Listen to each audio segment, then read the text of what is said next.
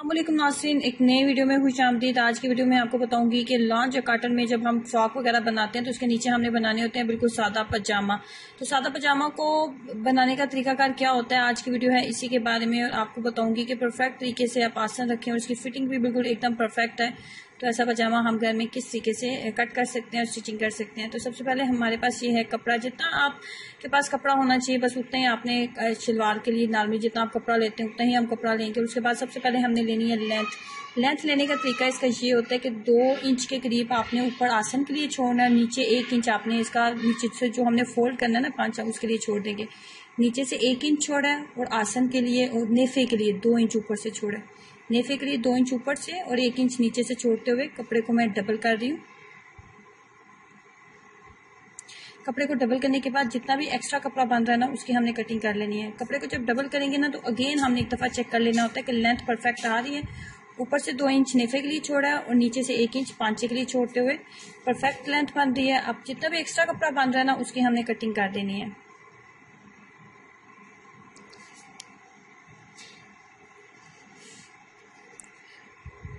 Cutting करने के बाद नीचे पांचे की तरफ़ आ जाते हैं। तो नीचे से हमने जो इसकी फिटिंग रखनी है, वो सात इंच के करीब हम कटिंग में रखेंगे और छह इंच के ऊपर हम सिलाई लगाएँगे। सात इंच कटिंग के ऊपर रखेंगे और छह इंच के ऊपर हम सिलाई लगा के तो इसकी फिटिंग रखेंगे। पांचे का जो साइज़ हमने तैयार करना है, वो छह इंच के करीब तैयार करना है। ऊपर की तरफ़ आ जाते हैं नेफे की तरफ़, जो इसका शलवार का गेर है। तो शलवार के गेर जहाँ पे बंद है ना, वहाँ से फोर इंच हम कट कर देंगे। यहाँ से। शलवार का ये ये जो घेर था ऊपर से फोर इंच के ऊपर मैं यहाँ से कटिंग करूँगी। इसकी कटिंग करने की रीजन ये है कि अगर हम चाहते हैं कि हमारी जो हम लास्टिक डालें उसके ऊपर कम चुनट बने। कम चुनट वाली अगर हम लास्टिक डालना चाहते हैं उसके ऊपर कम चुनट बने, क्योंकि वो पेट के ऊपर आ जाती है तो फिर वो काफ़ी डिस्टर्ब करती है अगर चुनट ज़्यादा हो। तो यहाँ से फोर इंच के करीब हम इसकी कटिंग कर देंगे, गेर से। नेफे के ऊपर गेर से हम चार इंच के करीब कटिंग। कर देंगे उसके बाद बारी आती है आसन की। आसन जो हमने तैयार करना है ना, वो वैसे तो सोलह इंच आसन होता है, लेकिन इसका हम पंद्रह इंच के करीब आसन रखेंगे। पंद्रह इंच आसन रखेंगे, लेकिन जब हम इसको कटिंग करेंगे तो हमने इसको देनी है गुलाई की शेप तो हम इस सत्रह इंच के ऊपर इसकी कटिंग करेंगे। इस तरीके से, इस तरीके से हम इसको गुलाई की देंगे। तो ये सत्रह इंच बन रहा है तो सत्रह इंच के ऊपर हम इसकी कटिंग करेंगे। जो तैयार होकर फिर पंद्रह इंच के करीब हमारे पास रह जाएगा। बिल्कुल गुलाई में इसकी कटिंग की जाती है।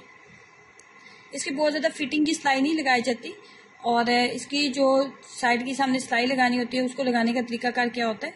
ये इस, ये देखें, इस तरीके से। थोड़ी सी गुलाई की शेप देते हुए,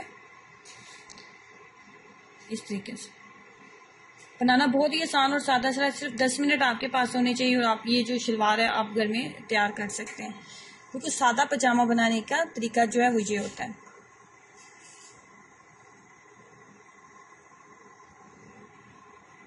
ये मैंने जो आपको पहली सिलाई नज़र आ रही है ना, पहले निशान नज़र आ रहे हैं, ये मैंने सिलाई के निशान लगाए हैं और दूसरे जो आपको थोड़े डार्क निशान नज़र आ रहे हैं, वो कटिंग के निशान है। तो कटिंग के निशान के ऊपर हम कैंची को चलाते हुए इसकी कटिंग कर लेते हैं।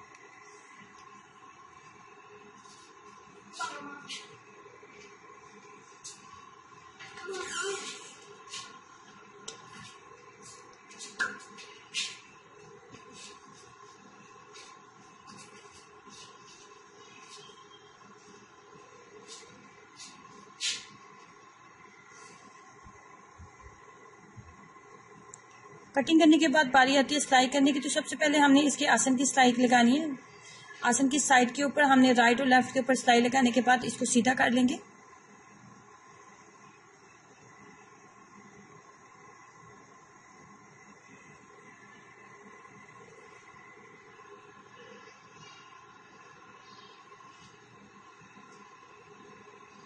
यहाँ पे और यहाँ पे हम लगाएँगे सिलाइयाँ सिलाई लगाने के बाद फाइनली मैं आपको दिखाती हूँ।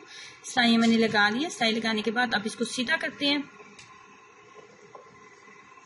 इस तरह ये सीधी हो चुकी है सिलाई लगाने के बाद। ये देखें, बिल्कुल मुनासिब गेर के साथ हमारा पजामा जो है, ये तैयार हो जाएगा। अभी यहाँ पे इसका हमने नेफा फोल्ड करना है और यहाँ पे एक इंच के करीब हम नीचे से इसको फोल्ड करेंगे जो हमने छोड़ा था।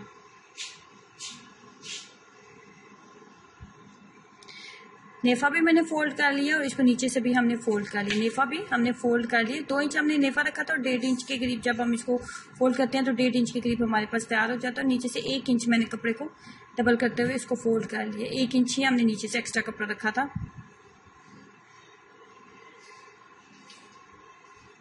अब हमने लगानी है इसकी साइड की सिलाई। जो मेन चीज़ होती है कि इसकी शेप प्रॉपर बने। तो इसकी साइड की सिलाई लगाने का तरीका क्या होता है? छः इंच के ऊपर हमने पांचे को रखना था। छः इंच हम नीचे से स्टाइल लगाना स्टार्ट करेंगे।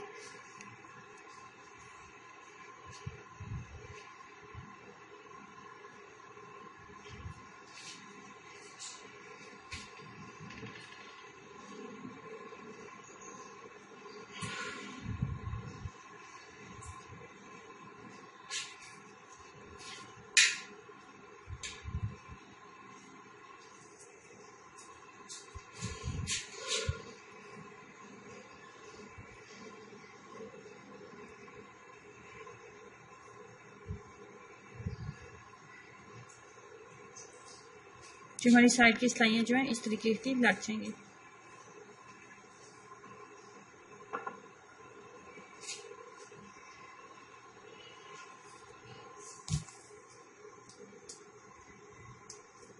फाइनली पजामा जो है, तैयार हो चुके हैं।